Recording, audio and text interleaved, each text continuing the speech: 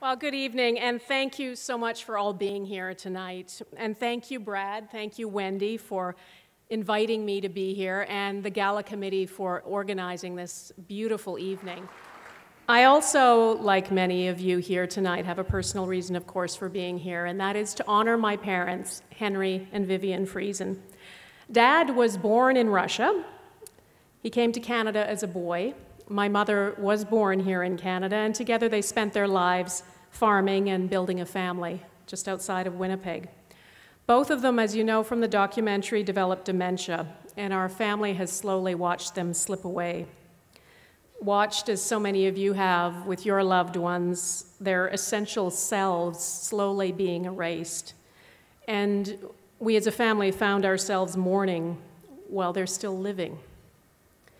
My father began to decline first, and looking back now, I suppose he really started to show signs when he was in his 70s. He was the kind of guy who rarely got sick. He hated going to the doctor. He loved to be outdoors working. He hated to have anyone tell him what to do, including my mother. he didn't have much use for coming into the city. In fact, he used to tell us that the only way he was going to leave that farm was in a pine box. Sadly, he never got that wish. Dad died in October in a nursing home in Winnipeg. He and my mother lived in the same nursing home, and, and mom is still there. I saw her on the way here today. And when dad was alive, they'd have these kind of occasional flashes of recognition. After all those years of marriage, you, would think, we'd hoped that somehow having them in the same place would give them a connection, but it was so rare. It had dimmed to almost nothing. Mom would sometimes go down the hall into dad's room and look at him and say, Henry, you need to get your teeth fixed. Just random things like that. There's nothing funny, of course, about Alzheimer's disease and dementia.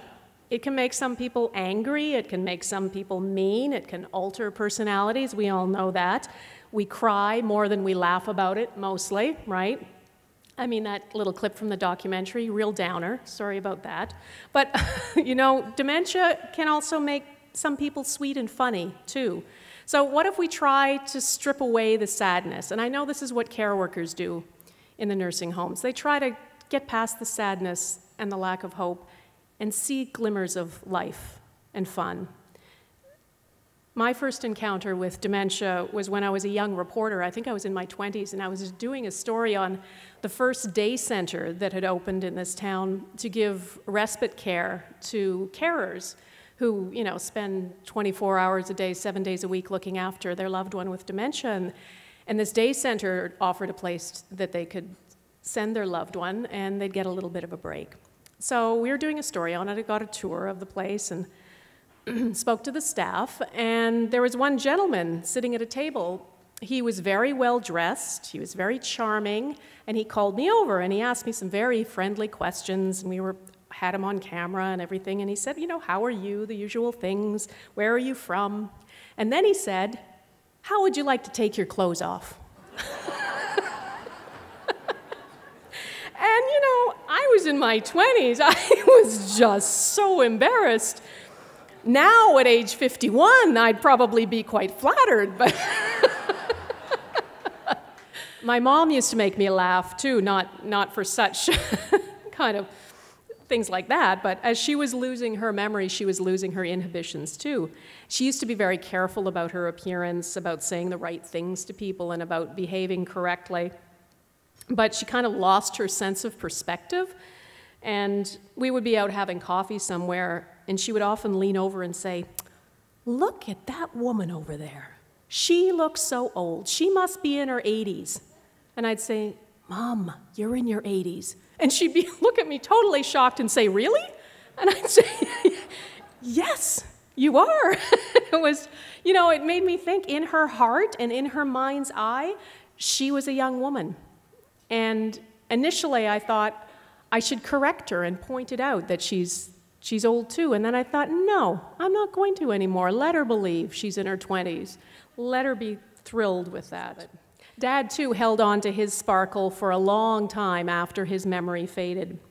He had the most beautiful blue eyes and a real charming personality. And the staff at the nursing home used to put his wheelchair near the nursing station because they liked him. They wanted to chat with him, they wanted to hear his jokes and his wisecracks. I think Alzheimer's kind of vies uh, with cancer now as the number one grim reaper, though the lucky ones can be cured of cancer. There is no cure for Alzheimer's and dementia. I know it's too late to help my parents, too late for hundreds of thousands of people, but I think about the next generation, my son's generation, and that's why we are all here. And I pl- applaud all of you for being here, for doing your part. Because as Wendy said, research really is the key. It is so important to keep raising money, to keep raising awareness. And the news of WestCan's investment here in Manitoba today is amazing. We need to tackle dementia the same way that we took on HIV. We need to keep pushing, we need to keep talking. We need to replace fear of this disease with hope. In the spirit of my dad, in their memory, and the memory of all of the loved ones that all of you love, who have found themselves trapped on this one way street called dementia. Let's have fun tonight. Let's sparkle a little, and let's raise a glass to a future free of this disease. Thank you.